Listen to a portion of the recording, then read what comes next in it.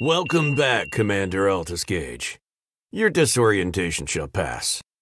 Your employer, the Drazu Industries Corporation, has asked me to reiterate its gratitude for you volunteering to enter stasis on the Horus Satellite Overwatch program.